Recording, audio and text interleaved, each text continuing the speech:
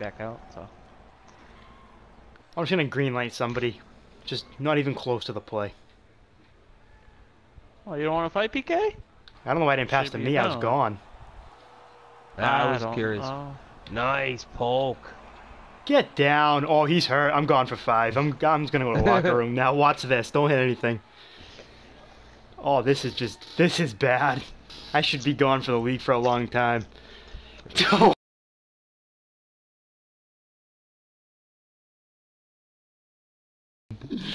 oh no. I think I got suspended.